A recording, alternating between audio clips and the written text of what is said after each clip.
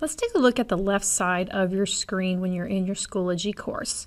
The one we're going to focus on for this video are your members. So if you look to the left and go down towards the bottom, you'll see members. This is where your students are going to be located. This is also where you can add teachers. You, you do not need to add students or delete students. This is done automatically as Schoology is connected to our SIS system or our Student Information System, which is Ascender. But if you want to add a teacher as a co-teacher, click on Add Members.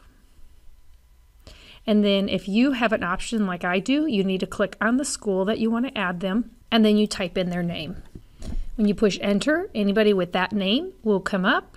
Click on that person's name and then choose to add them as a member. Once you do that, if you want to make them a co-teacher, Click on the drop down to the right of their name and choose Make Admin. This will give them the option to control your class just like you do as a teacher. It works the same thing as adding a co-teacher in, in Google Classroom.